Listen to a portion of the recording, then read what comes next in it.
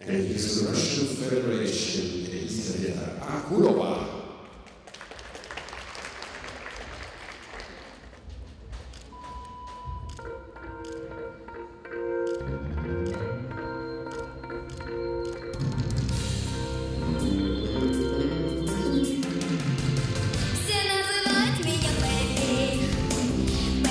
change your look.